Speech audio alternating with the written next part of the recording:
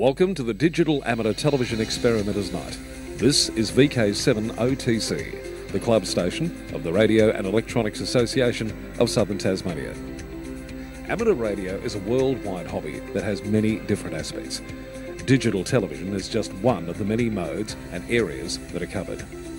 Maybe you're interested in becoming involved in the DATV Experimenters Nights. You realise that you do not have to be a radio amateur or need any ATV equipment to participate anywhere in the world.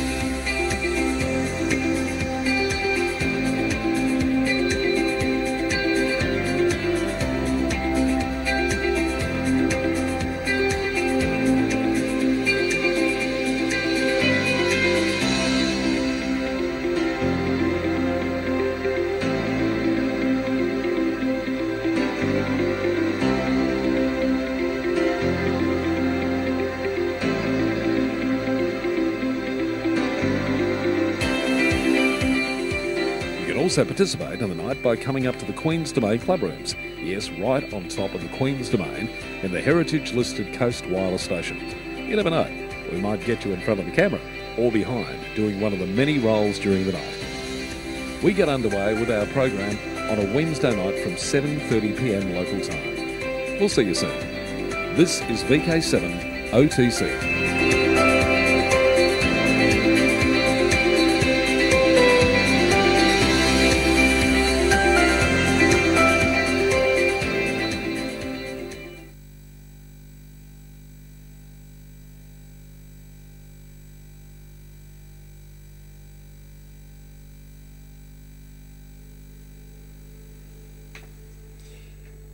This is uh, VK7 uh, OTC, the club station of the Radio and Electronics Association of Southern Tasmania with our DATV Experimenters Night. And it's a wild and windy night up here on the Queen's Domain. We've got a few people out in the uh, who braved coming out uh, tonight. But, uh, we've got a very full, um, very full program tonight. so uh, we'll get straight into it. Just reminding people that they can call in on the the YouTube streaming channel if they want to ask questions or uh, make comments about the uh, presentation throughout it. I'll keep an eye on that. Uh, and also, uh, I'm listening on uh, repeater two. Uh, although I'm not sure I can, I can, I may not be able to come back to you because I think the batteries may be uh, a little bit flat in this uh, this particular handheld. But uh, we'll try. Yeah, so you can call in on both those channels. So um, tonight uh, we'll start off uh, first of all with uh, I had a, uh, a parcel arrive uh, in the uh, in the mail uh, during the week.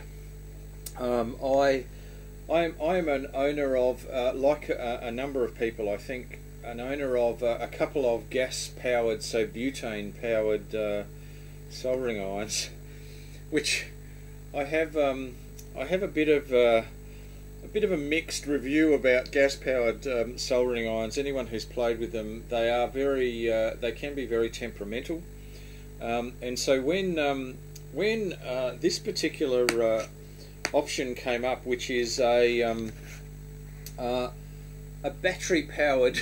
it's got lithium ion batteries uh, in it, uh, and it's a um, a battery powered um, uh, soldering iron. Let me just go to the close up camera.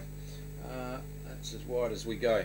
So um, this is the the very nice kit it comes in. Um, uh, they are currently on special at Altronics, so uh, I'll, I'll do a bit of a plug. They uh, are currently on special. Um, this is the soldering iron. We'll go into that in a minute.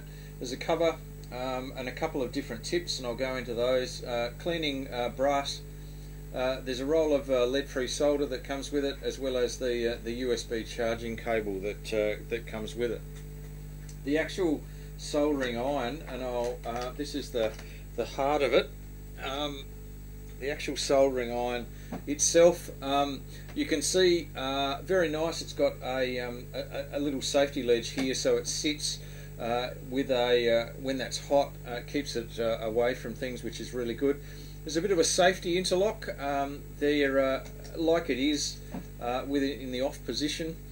You, this button doesn't do anything. In the on position, um, it doesn't do anything until you push the button, and you'll see there is a little LED light that lights up on it, which also tells you that this tip is going to be getting quite quite hot and that gets to solder temperature. So we're talking, you know, over over probably 280 degrees C at that tip uh, within eight seconds.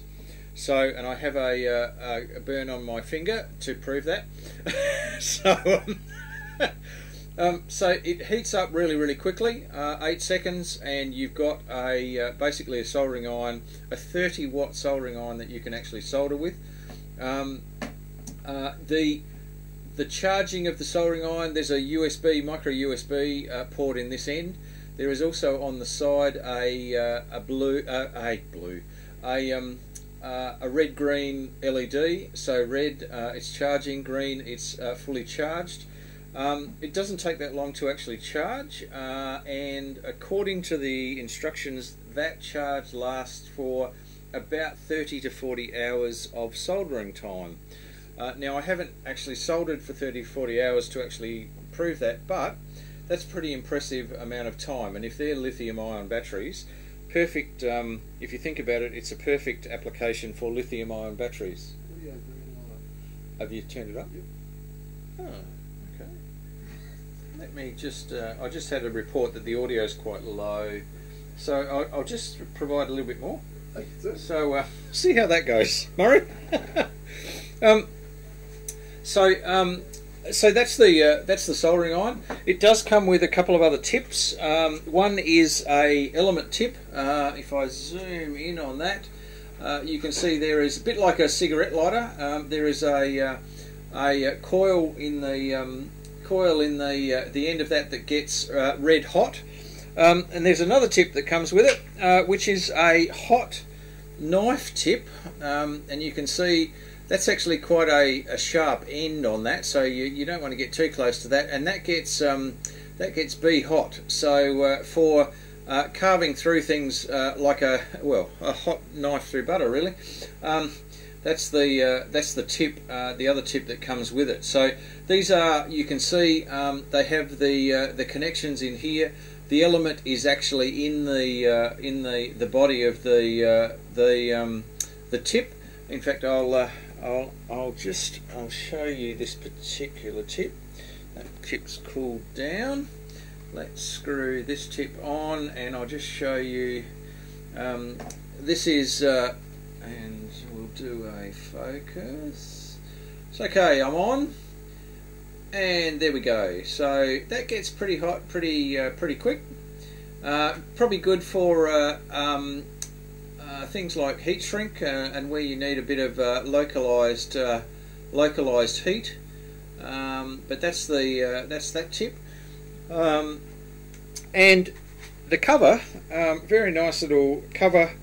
Um, the the cover's actually quite nicely designed because if I, if I zoom out a little bit here, when you put the uh, the cover on, if the soldering iron is still on, it switches the soldering iron off through a little lip here and also covers up the hot bit um, and I assume that is heat resistant plastic so uh, that's actually quite nice.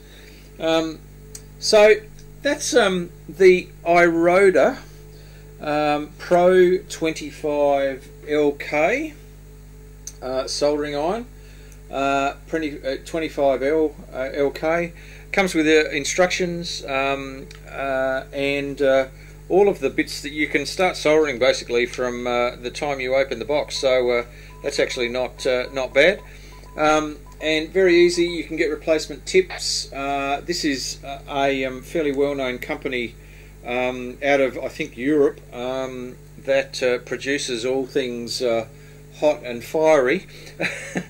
Uh, so uh, so yeah, uh, that's and, and, I have I have used it. Um, I haven't used it outside though yet, which I uh, if there's a little bit of wind, that used to be the uh, the um, the enemy of uh, gas-fired butane soldering irons. But anyway, I wrote Iroda currently on special at uh, Altronics.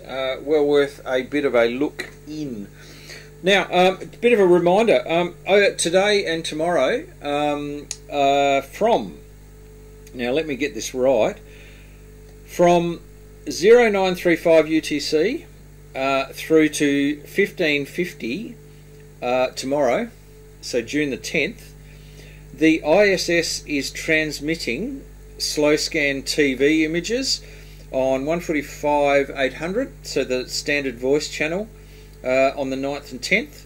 Um, they're part of the Moscow Aviation Institute SSTV experiment, which is MAI 75, and will be made from RS0 ISS uh, in the Russian service module using uh, the Kenwood TM D710 uh, transceiver. So that is, and there are a number of reasonable passes. Uh, I did a bit of a, uh, a bit of a Google uh, on um, uh, the passes of the ISS. You can get that from amsat.org uh, forward slash track. and you can see the you put in your grid square and it comes up with the next the next 10 passes uh, so there are some decent passes over the next couple of days. So if you're into receiving slow scan TV, uh, ISS over the next uh, day um, is uh, transmitting um, pictures. So uh, well worth a bit of a look with your slow scan TV, um, slow scan TV program of choice. And good evening, David. Uh, I saw David on his way home, puffing uh, on his bike, so we're doing very well uh, in the uh, in the rain and sleet. So uh, good stuff, David. Um, uh, yes, the hat. This is the best use for a um, a rabbit. I'll just say that. Um, other than the yeah, than probably rabbit pie. Um, this this comes from comes from the states. So, uh, and you can fold down, you can do, it's a real one, you can fold down and I can't hear a thing, uh, and you can also fold down the front and the back. So, um, uh, it is a very nice and very warm hat. So, I do get some funny looks in the um, uh, in the actual uh, when I'm driving in the car with it though. now, another update. Um, we featured the DigiRig interface uh, a few DATV nights ago. Denis Grisak, uh, K0TX, uh, let a select group of people know uh, that there are a number of updates. He has revision 1.5 about to be released uh, to the market. The differences with revision 1.5 for the DigiRig uh, interface is USB C uh, is being used on the computer side of the interface now.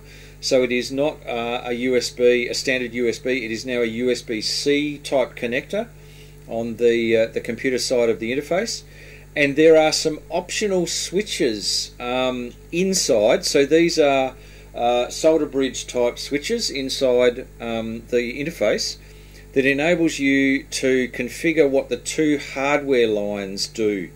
So is it uh, push to talk and or CW? Um, the CAT function selector pads are on the back of the PCB clearly labelled and you can just bridge them with a, a little bit of solder. So uh, there are some uh, some options that are now available on the revision 1.5. Um, now I don't know uh, I don't know what the cost whether there's any additional cost or what it is, but um, about to be released uh, from the DigiRig site. So uh, so there you go. Um, now we have our um, GNU Radio workshop number four. Now, GNU Radio. Okay, um, this is this is I, I described the the kit here. Um, the kit is um, it, it's a toolkit of of digital signal processing um, that you can actually uh, do a whole lot of things with, including a whole bucket load of RF uh, type processing.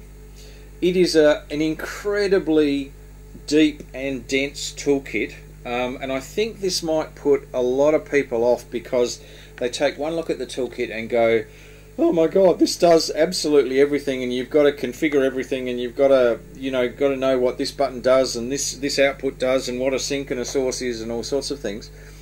It's what I've been trying to do over the last couple of weeks and workshops is just give you a, a few hints and tips and ideas about uh, what different things mean, uh, and so you can at least start off and start to do some of the some of the things and tests and um, experiments that you can with with um, with this freeware um, this freeware uh, uh, toolkit um, uh, GNU Radio Companion. So so just to recap what we did uh, in our last workshop, so a bit of reinforcement. Um, what we'll do, we'll go to um, one I prepared earlier. Um, so, what we've got here, um, this is exercise number three uh, that we went into. Um, to do a little bit of recap from last week, um, from the last, sorry, not last week, the week before. If you uh, click in this module area, which are all of the modules available in uh, GNU Radio Companion, and you do a Control F, it actually gives you a find function. So uh, if you know that it's got source in the um, and you spell it right, uh, source in the in the um, in the title, you can put in source and it gives you all of the things that have got source in the title. So it just makes it a little bit easier to um, multiplier. Um, there we go, and, and it gives you all of the things that have got multiplier in the uh, in the in the in the title of the uh, the particular block. So really handy little option. Um, all of the blocks have parameters and everything that are, is associated with them.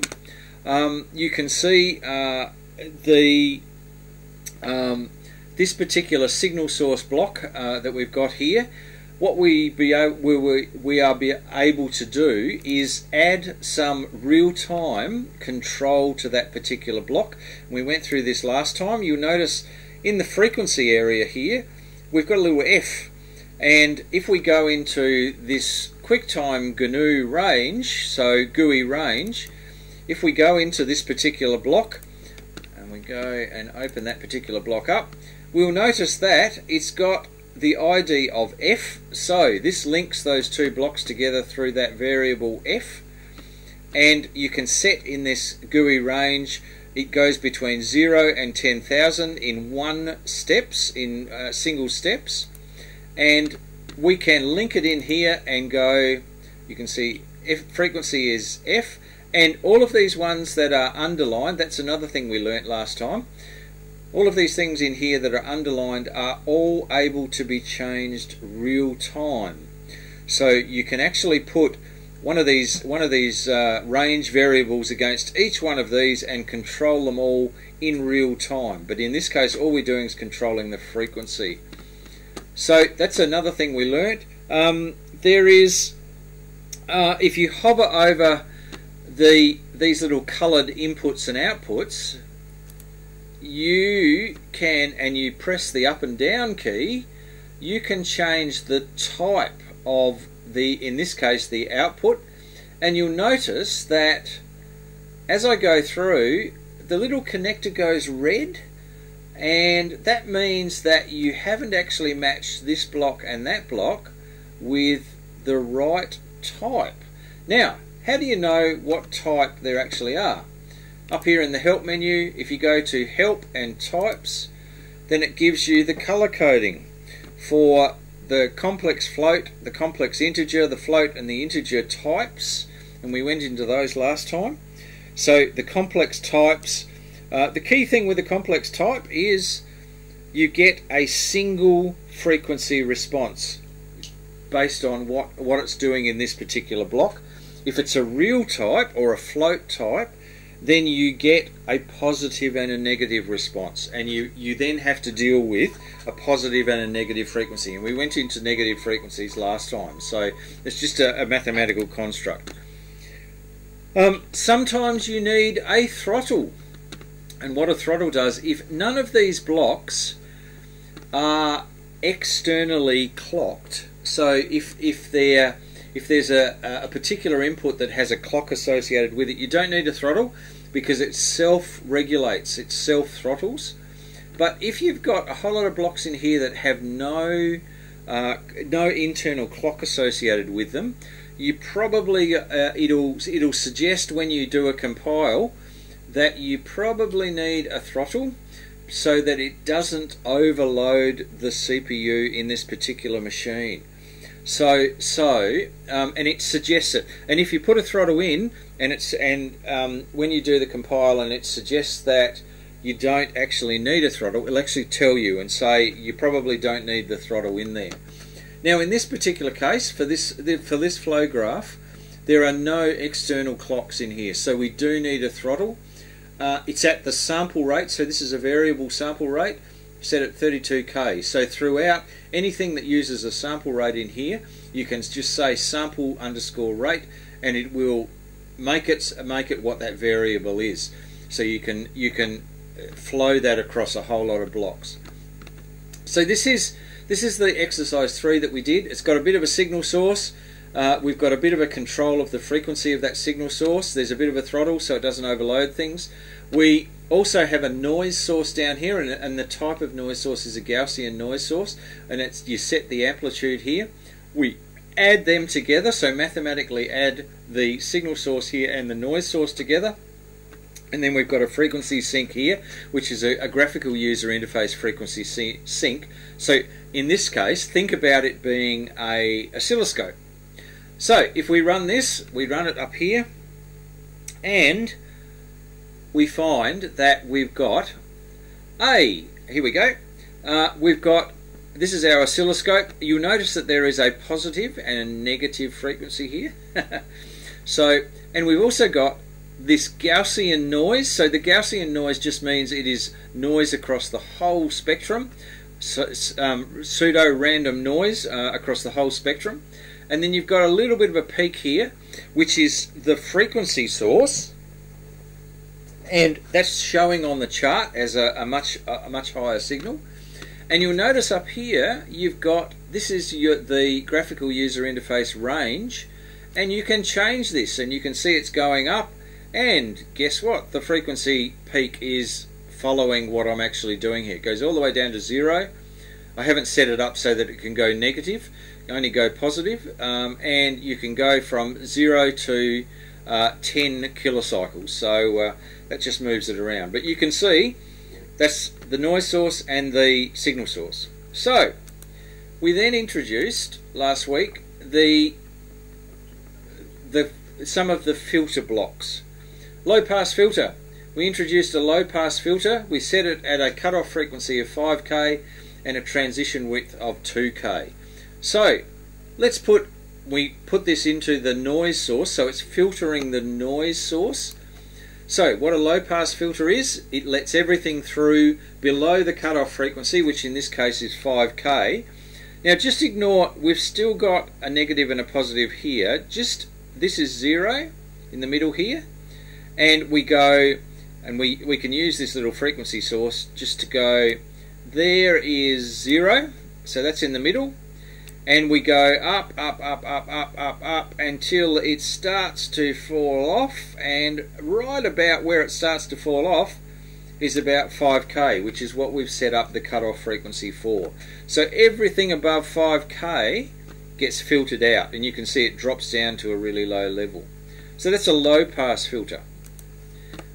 If we go to the next exercise, we've got a high pass filter in the same position and the high pass filter cutoff frequency is set at the same 5k. Now, looks inverted. we do the same thing with our frequency source. If we go back to zero, there it is in the middle down here. And so this is this what it, what a high pass filter is is it lets through everything above the cutoff frequency. So, what's the cutoff frequency in this particular case? There's zero. Let's go all the way up until we just get to where it starts to come out of the noise and that is about, surprise surprise, about 5k and that's what we've set the cutoff frequency. So everything above 5k in this case would go through the filter. Everything below the, the 5k will, is get, gets stopped through that high pass filter. Now, let's go to the next one. We've got a band pass filter. Now, a band pass filter is literally the combination of a high pass and a low pass filter. So, this looks funny. Uh, looks a bit like a camel, I suppose, with two humps. Um, if we go do the same exercise down to zero, and you'll notice that's in the middle, we've got this band pass filter configured to be a low cutoff frequency of 2k and a high cutoff frequency of 5k with a transition width of 1k. So this it goes from a, goes from one state to another pretty quick over 1 kilohertz. At zero, we've got it right down low. As we come up, we suddenly get it go up and it goes up at about 2k, which is what it's set to. Then if we keep going, we'll find the other side of this hump and it's about 5k. So what a bandpass filter does is let through everything between the low cutoff frequency and the high cutoff frequency. So everything in here, it lets through. So that's a, a good example of a low pass, a high pass and a bandpass filter that's available in, in this exercise. So now, just I'll just refer to my notes here. Now, a few little hints in here. We've got a few examples in here around. Um, probably this is probably a good example where we had our bandpass filter. One of the things you've got to be very aware of um, when you do a flow graph, and uh, probably flow graphs that are reasonably complex have a lot of blocks in them, all connected together. You've got to keep um, note and keep track of the sample rates all the way from the beginning to the end, so from the source to the sink um, within a flow graph, and make sure that you are matching those sample rates or converting those sample rates as you go through um, to uh, to the right sample rate. And a good example of that is um, this is a little bit of a single sideband example that one of the workshops um, we um, we were working on, um, and it starts off at the variable sample rate is set to 96k. So the signal source is 96k. Um, this th there is a file source. So I, I, talked about this in an earlier session. You can actually have an, a whole range of different sources, and in fact, the next one we're going to do has an RTL SDR source, a real one, um, that we're going to be using as the source. But in this particular case, what this is is a audio file, and this is actually a sampled audio file um, from a from a radio. It goes into a multiply block. Now, all all a multiply block is if you think about in radio terms, a mixer. Um, now it's not a balanced mixer; it's just a mixer. It mixes two signals together. Just excuse me, I'm having a, uh, a, a, drink here because I'm about to cough. Um, so think about the multiply as a mixer. So all that's doing is mixing a signal source and mixing a, uh, a, uh, an audio file here You'll notice that the frequency in here is set at zero. So one of the things you can do when you, you build up a, a, a, um, a flow graph is once you isolate a particular frequency that you're looking for in a flow graph, what you can do, and this is a technique that you can use in the flow graph, is you then frequency shift that that frequency to zero hertz and then you can start to do some processing on it, like uh, decimation and a few other things. And I'll go into that in a, in a, in a little while.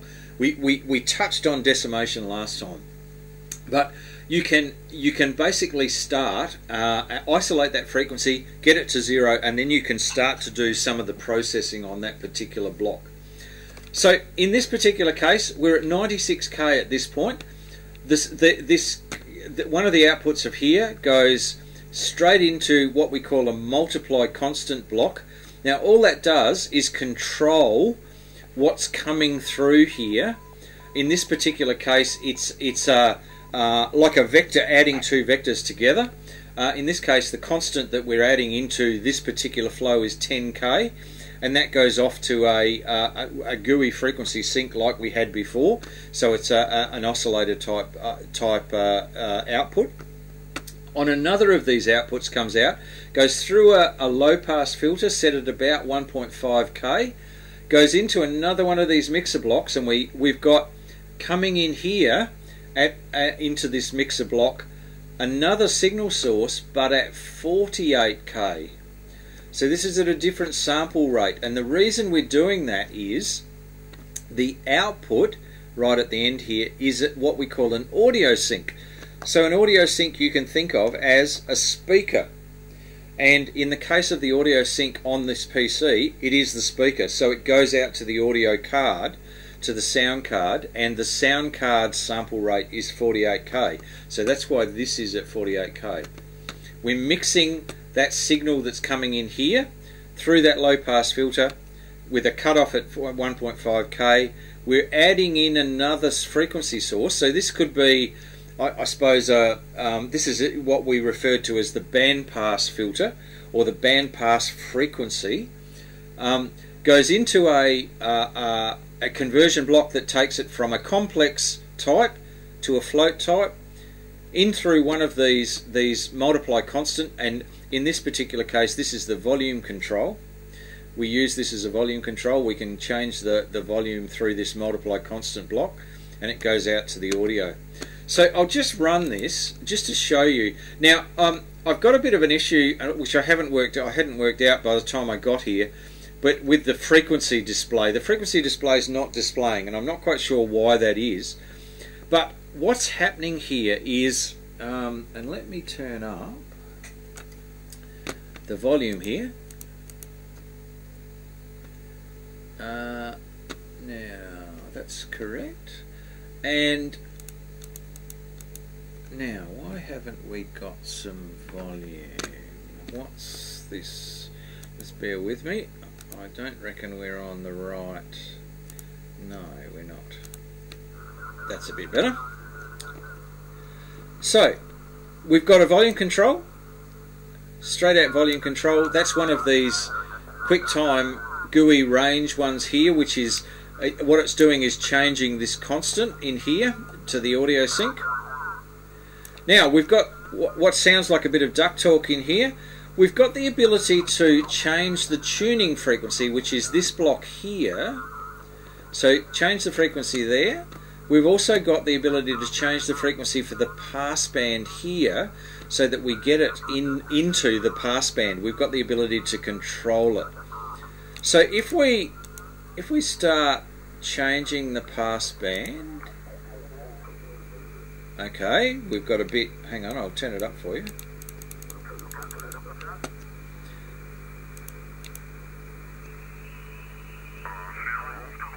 Okay, starting to get there.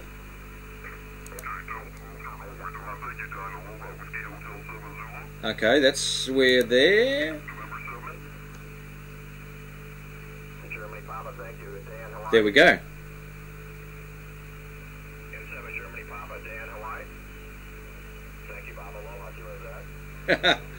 so, so this little recording is an actual recording of, of someone doing QSOs, DX QSOs in America.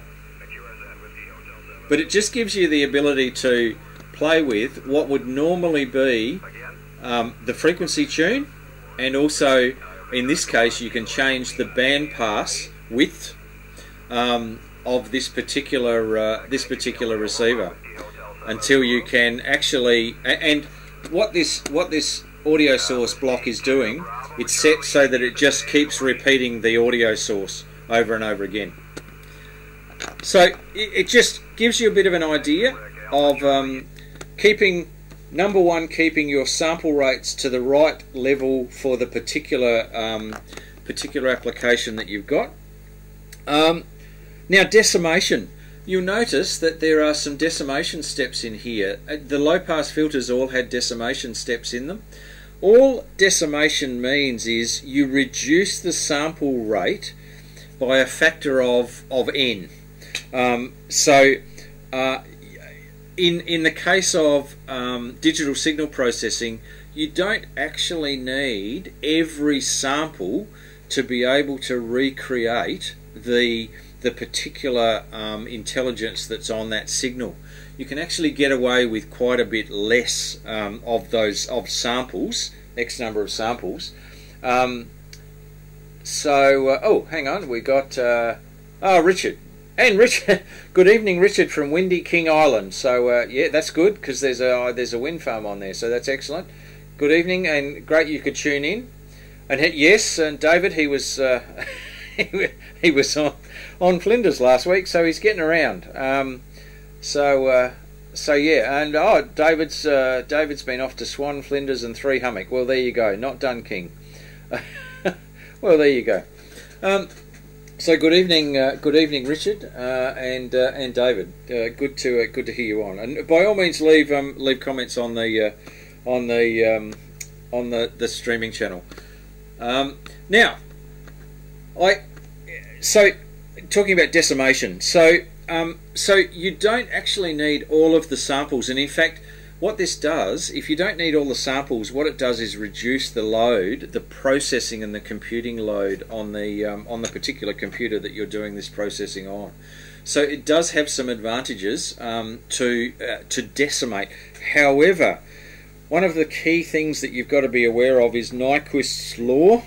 And for those who don't know, um, Nyquist's law can be sort of summarized with you've got to be at least two times, you've got to sample the particular frequency at at least two times the frequency that you're sampling, at least two times the the the um, uh, the, the the the signal that you're actually sampling. So if that signal is what two kilohertz, the sample rate has to be uh, four kilohertz at least, if not higher. Uh, to enable it to you to to get any intelligence out of it and be able to then recreate that. So so yeah, decimation just enables you to, in a digital signal sense, um, reduce the load uh, and also uh, to somewhat simplify um, uh, some of the steps that the blocks have to take. So that's what decimation is all about. Um, um so a good example, a good example actually is is in this one where um, you're at 96, um, uh, you're at 96 uh, killer uh, samples per second at this point in time. Uh, you want to get down to um, to a audio sink sample rate of 48 kilohertz over here. So what you've got, there's a decimation rate of 2. So it's dividing it by 2 to get to your audio sink 48 kilohertz. So it just you you need to be aware of those sample rates all the way through and make sure that you're actually matching them or changing them or converting them on the way through. Um, now, okay, now I thought at this point in time everyone's probably getting totally and utterly sick of me giving them hints and tips about um, uh, RTL SDRs and all sorts of stuff, and you need to we need we need to actually be um, um, we need to actually do some real world amateur radio and RF stuff. so I'll change back to here. So just to prove that the next bit that we're about to do is real, we've got a um, RTL SDR, which is stock standard. It is it is the actual real RTLSDR.com uh, USB uh, dongle, um, and uh, it's just got a, a cute little antenna on it. Um, USB back to the computer. And now, what I've got to do here is uh, one of the things that you have to do with an RTL SDR if you haven't you haven't uh, played with these before is make sure that there is uh, the right driver on the PC uh, to actually drive this. So I came across in doing the um, uh, doing the, the, the prep for this presentation, there is a wonderful, wonderful little freeware program, and I'll put the link in the um, in the video uh, the video stream.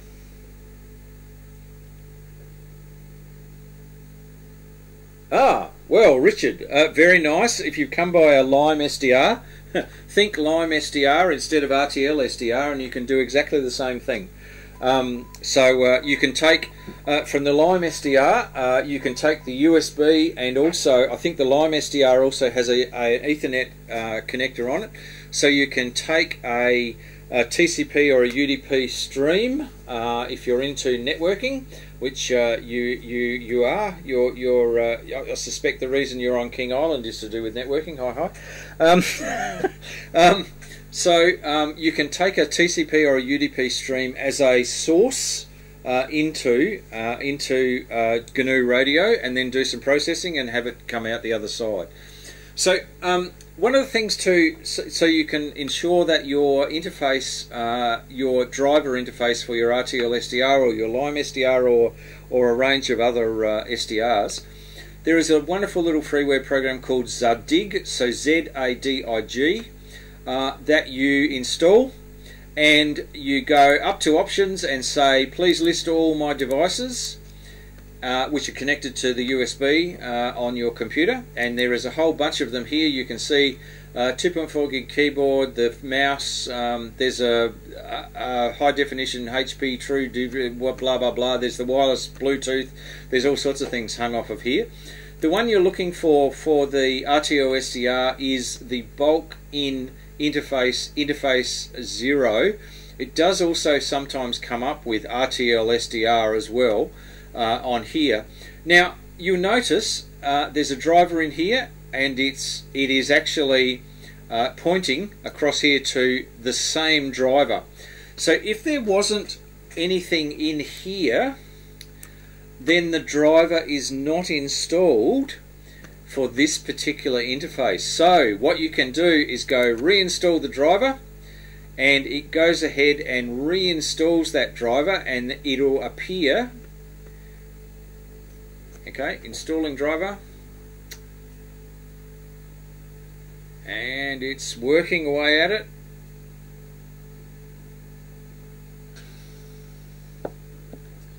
oh, okay so USB three connector on. Uh, so okay, same same story, uh, Richard. Uh, it'll be via the USB port. So uh, so you can you can certainly uh, we can come up with a GNU radio uh, driver for the Lime SDR via the USB. You can do exactly what we're doing, and I probably shouldn't have clicked on that, but anyway, it's just saying the installation program can take up to five minutes. Um, so um, oh Okay, yeah, no. Ah, there we go. Now the driver was installed successfully. Fantastic. So over here in this box, magically, there is the same uh, here, and we know that this is the RTL SDR up here, and the driver is installed. So you can now be confident that when you're starting to take a uh, an RTL SDR source, which is this block here, and what we'll do is open this up now there's a lot in this block, um, so we'll open it right up. So output type, um, you don't have to worry about that. The one thing you do have to worry about here is device arguments. We've got RTL equals zero. Now if we go back to Zadig, we'll notice it says interface zero. Now there are two USB interfaces. So there is a bulk interface, interface number one and zero. We're using zero in this particular case. So RTL equals zero in quotes up here. So that's the device argument that it actually uses to get to the RTL SDR through that driver. Um, forget about all of this, don't need to change any of this. The sample rate is set by up here the variable which is sample rate which is set to 240k uh, so kilosamples per second. Um, now, I happen to know because I have calibrated this particular RTL SDR, and you can find this on the RTL SDR site. I know what the the calibration parts per million is for this particular RTL SDR.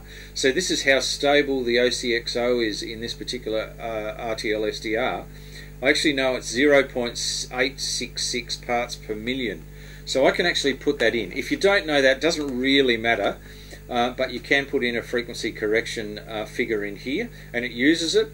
Now, RF gain, we've got a variable of RF gain because up here we have a control for the RF gain. Up here with one of those range controls. There is a set for IF gain, baseband gain, the antenna you don't have to worry about, and the channel bandwidth we've set to 100k kilohertz. Don't need to do anything in the advanced, uh, so at that stage we're all set for the RTL SDR. Now, the output, um, no, now, hang on. Huh. There is, though, one of the things we've got here is for frequency we've set up tuning. So we'll open up the tuning, the tuning range graphical user interface Default value is 92.9 megahertz. So anyone who knows what that is, that's a, a, commercial radio station. We start on the range of the low end of the FM broadcast band and the high end of the broadcast band for the stop, and we step in uh, 100 kilohertz steps. Uh, and I think that's all we need to do there. So that's set up to give us some frequency, some RF gain, and also some frequency um, uh, control of this RTL SDR. The output of that goes into a block, which is an FM demodulation block. So, uh, channel rates the sample rate, which is 240k, takes it from the variable, uh, audio decimation, so it, it automatically uh, checks that, the audio decimation rate. Uh, that's a variable that sits up here. Uh, so we can play with the, the, the deviation here. Uh, the Sorry, the audio decimation rate is set to the variable 5, sorry, to the variable 5. Um, so we can play with that if we really want to. It's not set up as a range control. The deviation, again, the same thing. We can play with that by setting the deviation variable and then not having to go into this block all the time. Uh, audio pass and audio stop, they're set at their defaults and the gain is set to 1. The output of this particular block goes through a multiply constant, and we saw that in the previous flow graph. What the multiply constant allows us to do is to um, vary the output of this FM modulation block with through a range and you can see the range here and the idea is volume because it's effectively a volume control into your audio sink or your sound card so your speaker so start at 0 stop at 1 and with 0.05 uh, to in between so we've got the ability to control the audio that stream that goes to your sound card. Now, what's it sound like? Let's run that, and you'll notice there are no um, no um, errors. There are no red boxes. No. There you go. Now I've defaulted that to. Um, let's turn it up a bit. I've defaulted that to Triple J. So 92.9 and RF gain we can play with the RF gain here take it down 10 to 0 and signal drops out go to noise come back up again till we get full quietening and volume and tuning. So if we go 90 oh down I need to 93.9 I think is classic. In fact what we need to do here that tuning is a bit coarse. Let's go into the tuning block and make it instead of 100,000 let's make it 25 kilocycles.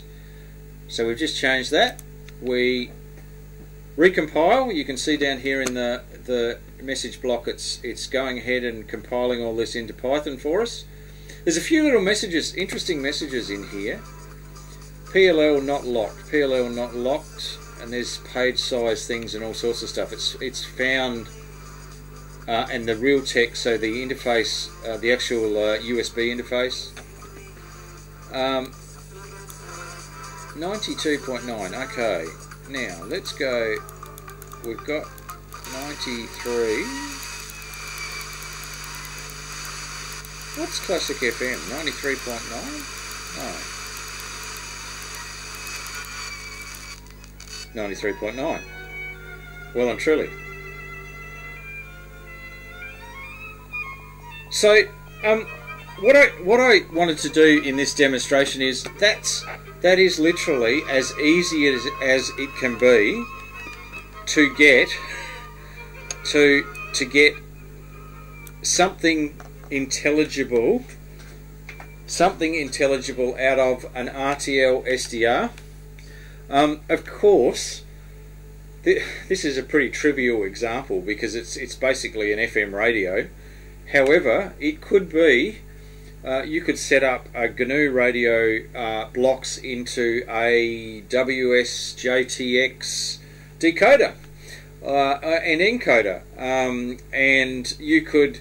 Uh, one of the ones I want to show um, a little bit later is um, to actually show this through a DVB-T demodulator so you can actually get vision and we can look at the RF signal that is actually uh, coming out of our, our DATV transmitter uh, using the, the RTL SDR because uh, it can it can decode uh, any modulation type you like so long as you know how to do it in um, in GNU radio. So so that's um, I, I just wanted to finish on a real world example of using GNU radio uh, using uh, one of the cheapest little receivers that you can you can probably buy on the market these days. Uh, that is a pretty reasonable little uh, option to uh, experiment uh, with radio. Um, and there are many many examples of using the RTL SDR for a whole range of different demodulations.